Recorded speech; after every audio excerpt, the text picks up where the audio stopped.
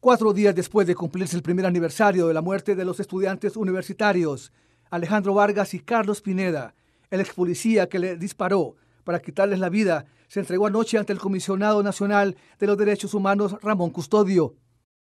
Se trata del efectivo policial Santos Arnulfo Padilla Rodríguez, quien se presentó ante el CONADE e inmediatamente se hicieron los trámites legales correspondientes para presentarlo al Ministerio Público.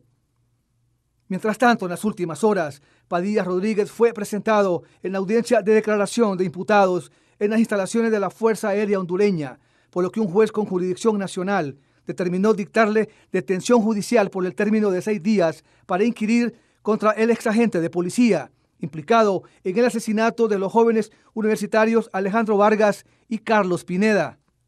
Por su parte, la rectora de la máxima casa de estudios, Julieta Castellanos, dijo que se trata del asesino directo de los dos jóvenes universitarios, Pineda Rodríguez y Vargas Castellanos.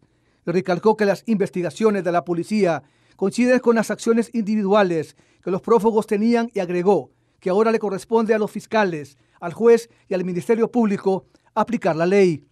Sí, esa es la información que hemos recibido hace unos momentos. Eh, que un contacto que se entró anoche con él y que el señor comisionado de Derechos Humanos junto a otra persona eh, viajó para, para entregarse. ¿Tiene todo el nombre de él, Padilla? ¿Nos confirma la policía? No tengo el nombre de él, eh, me han dicho que es él y que él fue el asesino directo de Rafael Alejandro ¿Qué significa, ¿Qué significa esto, rectora? ¿Cómo, ¿Cómo catalogarlo? Bueno, es un paso importante, obviamente. Para nosotros es remover todo, eh, que esté ya entregado a la persona que fue capaz de asesinar a dos jóvenes totalmente indefensos. Es, son momentos de, difíciles en el plano personal, pero que significan un avance en el proceso de investigación para que se haga justicia.